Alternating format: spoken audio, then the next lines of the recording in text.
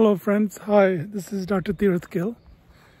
Uh, China came out, a Chinese company came out with this uh, uh, LLM model, DeepSeek, and it has uh, shaken up uh, the AGI uh, field. It has brought to light the rapid pace at which the development of artificial intelligence towards AGI is progressing. Uh, it uh, also brings to fore the concern about the need to rapidly bridge the gap between the evolving digital intelligence and uh, human intelligence, human values, and make sure that they are um, talking to each other. AI is uh, represented by um, two ways to develop it. it. was one is symbolic, and one is um, random aggregation of facts that the AI create sense of, and it is doing a pretty good job of it. And it also explains the rationale with DeepSeek. The, the point uh, to point uh, digital evolution uh, is thought to be a black box of sorts, but uh, it need not be.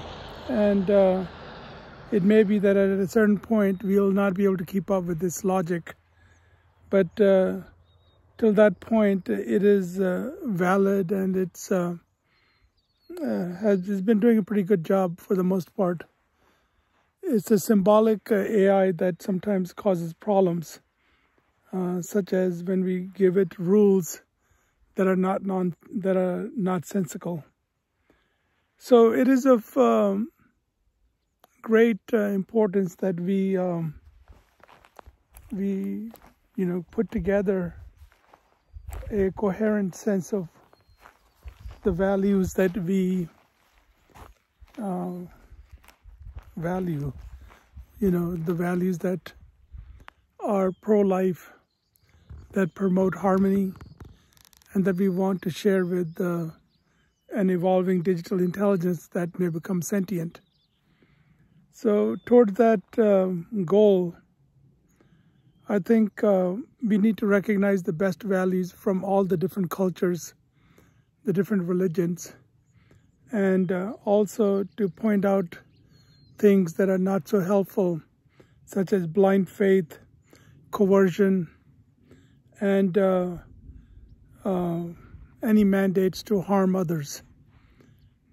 who do not agree with the, your point of view. I think toleration is a key value that we need to teach all of humanity and our evolving digital intelligence to allow people to come around to the truth because that's what uh, we're all aiming towards. We're aiming towards a better perception of the truth uh, in our own ways.